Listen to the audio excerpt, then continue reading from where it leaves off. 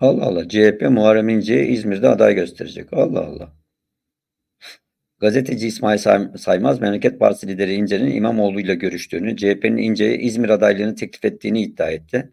Memleket Partisi Genel Başkanı Muharrem İnce muhalefete ittifak çağrısı yapmıştı. Gazeteci İsmail Sarmaz yerel seçimde muhalefete ittifak çağrısı yapan Muharrem İnce'nin İBB Başkanı Ekrem İmamoğlu ile görüştüğünü iddia etti. Saymaz CHP'nin İnce'ye İzmir Büyükşehir Belediye Başkanı adayı olması için teklif götürdüğünü söyledi.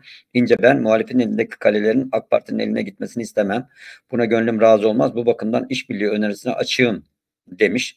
Ben muhalefetin elindeki kalelerin AK Parti'nin eline gitmesini istemem. Buna gönlüm razı olmaz. Bu bakımdan işbirliği önerisine açığım. Önümüzdeki hafta görüşeceğiz. İzmir Büyükşehir Belediye Başkanlığı için teklif edilmedi ama benim kulağıma da geldi demiş. yani Ekrem İmamoğlu ile görüşüyor ee, ama böyle bir konuşma geçmiyor. Ama benim de kulağıma geldi diyor.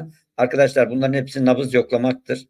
Muharrem İnce'ye İzmir Büyükşehir Belediye Başkanlığı verilecekse verilir arkadaşlar. Çok önemli yani. Muharrem İnce İzmir Büyükşehir Belediye Başkanı olduğu zaman Memleket Partisi'ni kapatır mı? Asıl buna bakacaksınız. Memleket Partisi e, CHP'ye katılır mı? E diyebilir ki Muharrem İnce benim mücadelem zaten Kemal Kılıçdaroğlu'yladı. Kemal Kılıçdaroğlu da gittiğine göre benim ayrı bir parti kurmamın gereği kalmamıştır. Partiyi kapatıyorum. E, e İzmir Büyükşehir Belediye Başkanlığı'nda üstleniyorum. E hani sen Cumhurbaşkanı olmak istiyordun? Hani sen bu ülkeyi yönetecektin. E, İzmir Büyükşehir Belediye Başkanlığı'na fit. Niye? Çok basit abi. Çünkü e, şeyin e, söyle e, iktidarın, Cumhur İttifakı'nın, AK Parti'nin e, e, CHP'nin elinde olan belediyeleri kaybetmesini e, yani kazanmasını istemem. O açıdan da böyle bir fedakarlık yapıyorum diyebilir mi? Der abi bu siyaset. Der. Bu siyasette dün dündür, bugün bugündür. Bu kadar net. İlke ha, arayıp bulamazsınız. Bulamazsınız sevgili arkadaşlar. Ha kazanmak için bu tür ittifaklar yapılır mı? Yapılır. Böyle bir ittifak yapılırsa da doğru mudur? Siyaset açısından doğrudur. İlkesel açıdan doğru mudur? Değildir. İlkeyi takan kim sevgili arkadaşlar? Kim takar ilkeyi yani?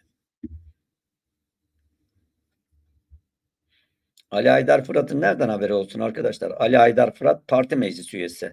Ali Aydar Fırat MYK üyesi değil. Ali Aydar Fırat Ekrem İmamoğlu'nun çalışma ekibinde değil.